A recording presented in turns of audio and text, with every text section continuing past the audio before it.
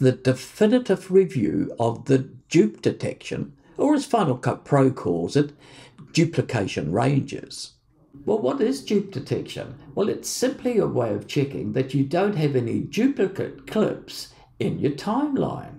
It's really important for long form videos like weddings or full length movies or documentaries because it's so easy to use the same clip twice.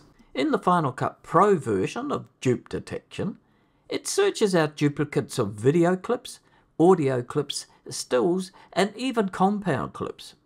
However, as you'll see later, you can filter the results. So, for instance, the audio is not marked as a duplicate, or only the duplicates are shown.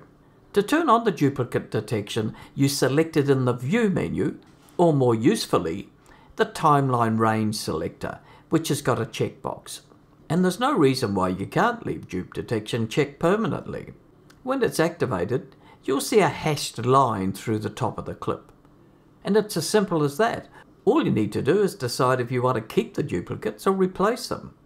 Well, not so simple really, because any long form video will have small clips that'll not show the hashed lines when the fit in window mode selected. And here's where the real magic happens in the Final Cut Pro version, and it's the index menu. And when you open the index with the clips tab selected, the hashed lines show in the index. And by double clicking, you instantly go to the duplicate in the timeline, no matter how zoomed in or zoomed out the timeline is. But that's not all. As I said earlier, you'll frequently have audio clips that are duplicated, even if only the overlap of the fade in and the fade out of the audio. And you can filter out the audio by selecting video only at the bottom of the index. And again, that's not all. You can even filter just duplicated clips in the search field, show clips of duplicate ranges.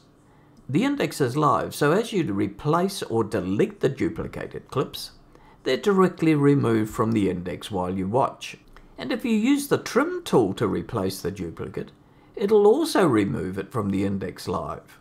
And you don't have to just use the index. It's easy to move from one original to the duplicate by using the command and the option keys plus the left and the right arrow.